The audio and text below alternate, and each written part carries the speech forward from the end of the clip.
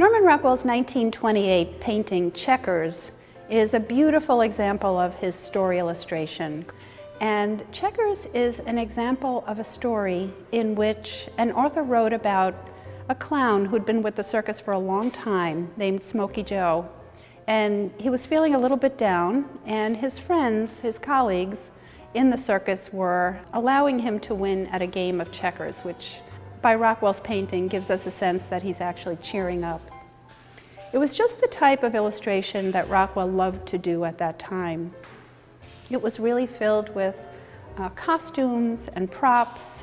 Uh, the dog laying by the side of the clown are wonderful indications of the kinds of interconnectivity that Rockwell brought uh, to his characters' plots and settings in story illustrations.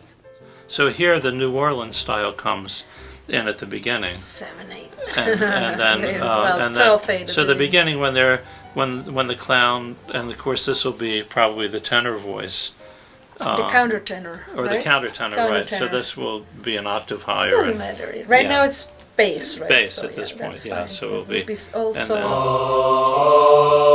So it says, "I'm not funny anymore," and, and then the band comes in, and this will have the trombone. The first voice we hear is the clown saying, "I'm not funny anymore," and so I actually use the uh, the subplot of the of the painting uh, to generate a kind of story where the other three characters sort of make the plan to let the clown win in the game of checkers, and then at that point, once the idea uh, takes shape that they're going to play, and he says, "Okay, I'll play," and then uh, from this point onward, uh, the piece goes into a really rapid seven, and that to me gives a feeling of intensity and also the kind of excitement, and also maybe the geometric qualities in a checker game, sort of bouncing around back and forth, and so that intense seven uh, will, you know, maintains itself throughout the rest of the piece.